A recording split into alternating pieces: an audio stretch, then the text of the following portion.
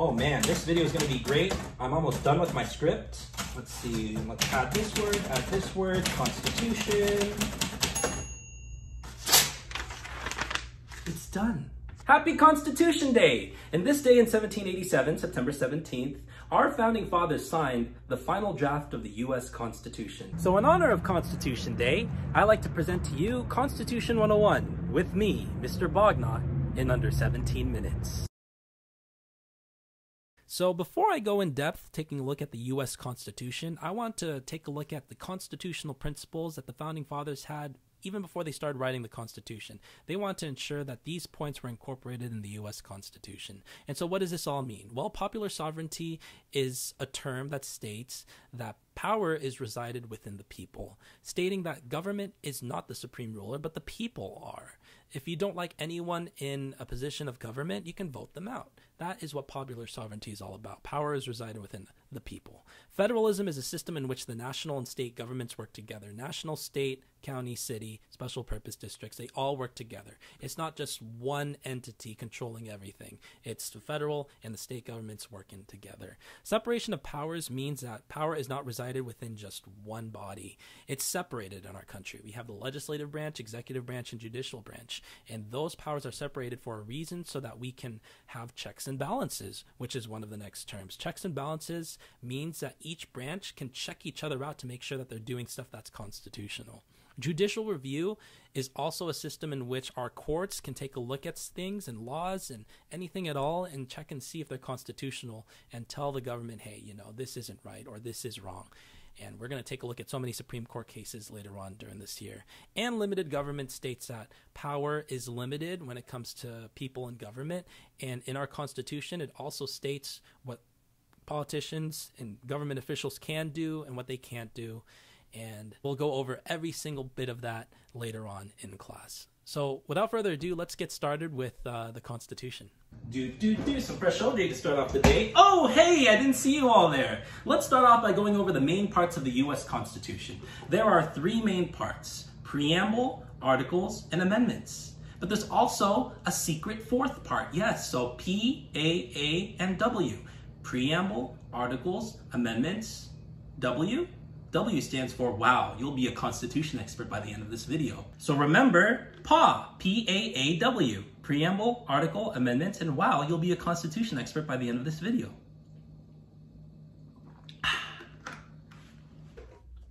Hello? Hello? Is preamble there? Oh, hey there. So the preamble. The preamble is essentially the introductory paragraph to the document that we're talking about, the Constitution. The preamble outlines all the goals of the document, and it starts off with the following words you might recall. We the people. We the people of the United States of America, in order to form a more perfect union, establish justice, ensure domestic tranquility, provide for the common defense, promote the general welfare, and secure the blessings of liberty to ourselves and our posterity, do ordain and establish this Constitution for the United States of America. Alrighty, so now we're going to take a look at the articles of the U.S. Constitution. There's seven of them, hence why there's seven empty slots here in my Connect 4 game. And we're going to fill it in as we go. And so we have seven articles. You might be telling yourselves right now, wow, that's a lot of articles. Well, it really isn't. Consider articles like chapters in a book, and we'll go one by one. And so, first things first, you always have to remember the following phrase Lucas eats jalapeno steaks and Spanish rice. Lucas eats jalapeno steaks and Spanish rice. You might be asking yourselves, what the heck does that mean? Well, if you take the first letter out of that phrase, each letter, there should be seven at that point, you have all seven articles of the US Constitution. So let's take a look. So, Lucas, L. L stands for legislative branch. Article 1 is all about the legislative branch. Talks about everything that Congress can do, what Congress can't do, talks about qualifications to be a part of the House and the Senate, you name it. Article 1 is the longest article in the Constitution, and some might argue that that was purposefully done. Is that considered the most important branch in the United States? Stay tuned in class. Alrighty, so that's L, Lucas. E, eats. Second article is the executive branch. Yes, the executive branch. It states the qualifications of a president. It states what the president can and can't do, and everything involving the executive branch. Alrighty, Lucas eats. Jalapeno. Third article, J, jalapeno. Judicial branch. Yes, the third article is all about the judicial branch. talks about our court system, the Supreme Court. Talks about how the federal government can create inferior courts, which we have done in the 200 years that have passed since the Constitution has been written. And that is the third article. So as you can see here, the first article, legislative, second article, executive, third article, judicial. The first three branches of government. Those are the first three articles. Fourth article, states, states, stakes sounds about the same. Lucas eats jalapeno steaks, states. This article, the fourth article, is all about the relation of the United States, each individual states, to the country as a whole. It also partly talks about federalism, which we'll talk about in class later on. So that is the fourth article of the Constitution. Fifth article of the Constitution, A and and, right? A, amendment process. You know, we've all talked about recently how the Constitution was an imperfect document to begin with, and so we can change the Constitution. And the fifth article, A, outlines the amendment process, how to change the United States Constitution. Alrighty, sixth article, Spanish, S, the second S. S stands for supremacy, right? Supremacy. Supremacy means one is over another. So, what this means in the US Constitution is that any law within the states cannot go against any law that's federal. So, for example, federal law now states that gay marriage is legal throughout the entire country, and every state must recognize it. No state can create a state law that states, oh, no, we're not recognizing it, because that goes against federal law. So, S, Spanish stands for supremacy, stands for the supremacy clause, that the federal laws are above state laws. And finally, the seventh article, okay, Rice, R, Rice, R. Seventh article, R, ratification. Ratification. And so ratification means how is this constitution going to be the supreme law of the land? Shortest article in the US Constitution essentially just states that 9 out of 13 states must approve it in order for it to be our US Constitution, and the rest is history. Alrighty, so those are the seven articles of the Constitution for you in a nutshell. Let's review. Lucas eats jalapeno steaks and Spanish rice. First article, legislative branch. Second article, executive branch. Third article, judicial branch. Fourth article, everything about the states. Fifth article, how to change the Constitution with the amendment process. Sixth article is all about uh, supremacy clause. And then the seventh article is about ratification. Lucas eats jalapeno steaks and Spanish rice. Legislative, executive, judicial, states, amendment process, supremacy clause, and ratification. Simple as that. What does this do?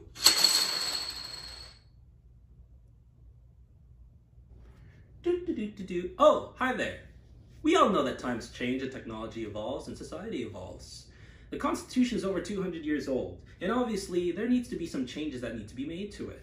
There are 27 amendments, or 27 changes to the Constitution. The first 10 changes are the Bill of Rights. These are what the Anti-Federalists push for in order to ratify the Constitution. These rights honor your individual freedoms. And so we'll take a look at all Bill of Rights and all amendments right now.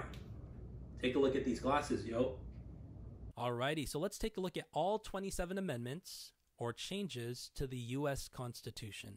I'm going to be showing you a quick and easy way of remembering all 27 by following this simple three step process. So, the first step would be to associate each amendment number with its corresponding letter. So, the first amendment would be A because that's the first letter in the alphabet. The second amendment would be B because that's the second letter of the alphabet. You only have 26 letters, so when we get to the 27th amendment, we'll use the dollar sign as a letter, and you'll see why when we get there. The second step will be the recall, would be to recall the hint based off of the letter. And so, for example, the First Amendment, since it starts with the first letter is A, uh, the hint will start with A. The Second Amendment, since the second letter is B, the hint will start off with B, and so on and so forth. And then the third step is to elaborate on the hint. Some hints may be elaborated enough, and so that is the simple three step method of remembering the amendment. So let's take a look. So let's start. Alrighty. And as I've stated before, the first 10 amendments are the original Bill of Rights. These are what the Anti Federalists pushed for when ratifying the Constitution. So here we go. First Amendment A. A. Hint all fraps. The summary freedom of religion, assembly, press, petition, and speech. Most people just consider the First Amendment as freedom of speech, but it actually comes with four other things freedom of religion, assembly, press, petition, and speech. First Amendment A. A. All fraps. Second Amendment B Hint B. Bear arms. Summary: People have the right to carry firearms. This is a such this is such an open-ended amendment that it's up for interpretation, and this is a very controversial amendment in the year 2020. Third Amendment C. C. Can't intrude. Troops cannot intrude your home and live there. This was a huge problem when we were the original 13 colonies. British troops would quarter your houses. And so the Third Amendment C, it's not really relevant nowadays, but troops cannot intrude your home and live there. Can't intrude.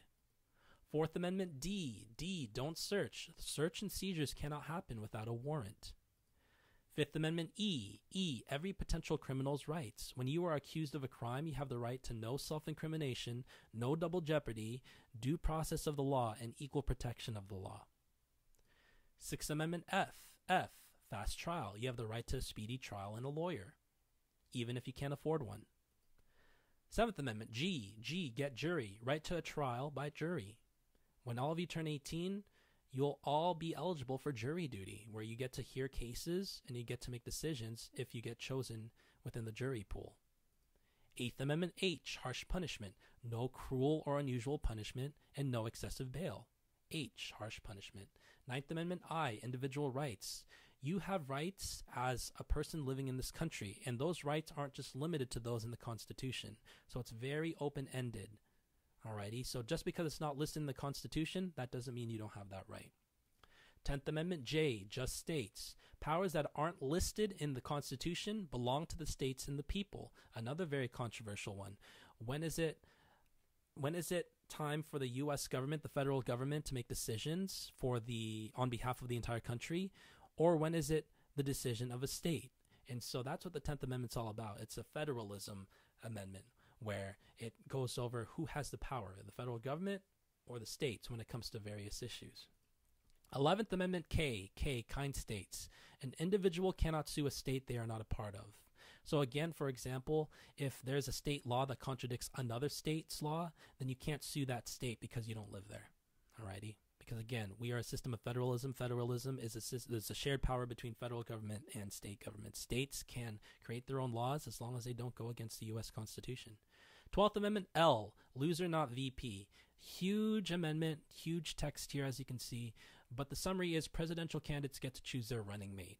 So instead of the person with the second most amount of votes being vice president, presidential candidates and vice presidential vice presidential candidates run on the same ticket.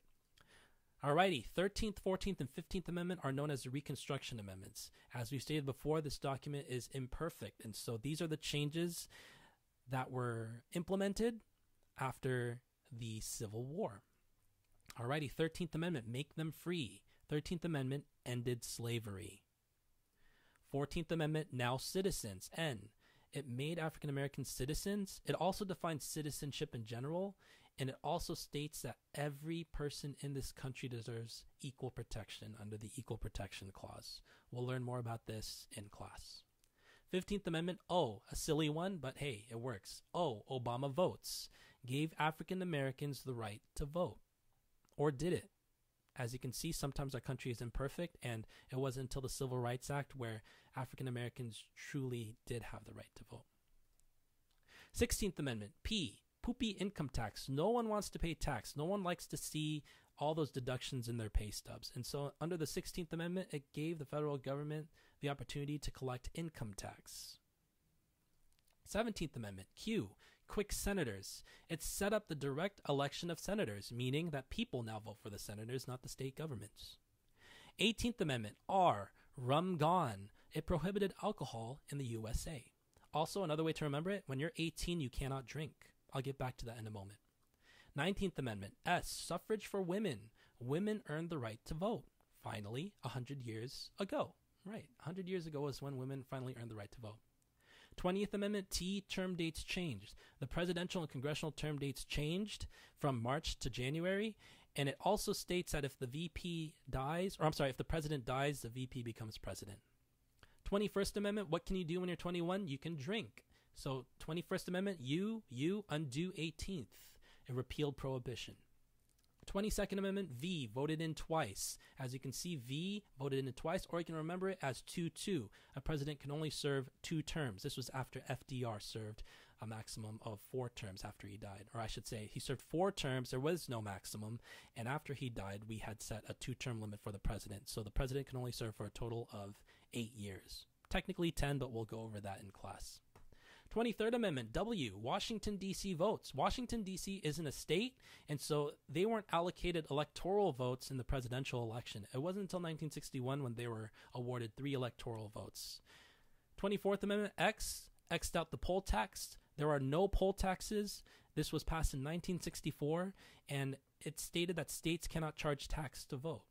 And so this was essentially um, prohibiting those who were black from voting. 25th Amendment, why you're next? You're next. It set up presidential succession. So who becomes the president when the president dies? The vice president does. Let's say who becomes the president if the vice president dies? The Speaker of the House does. So it sets up presidential succession. 26th Amendment Z, zombies vote. Just take a look at some of you sometimes in class. All of you are tired. So that means Z, zombies vote. The, low, the voting age was lowered from 21 to 18 in 1971.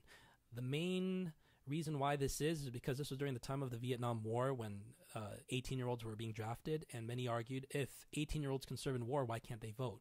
And so that is why the voting age was lowered in 1971 from 21 to 18. Zombies vote. 27th Amendment, dollar sign, dollar dollar bill, y'all, as you young kids say. Congress cannot raise their own pay within their term. They can for the next term, though. And that was passed in 1992. Alrighty. So those are all 27 amendments. And hopefully you'll remember it using that method. The ABC method is what I call it. And that's that. You have concluded Constitution 101.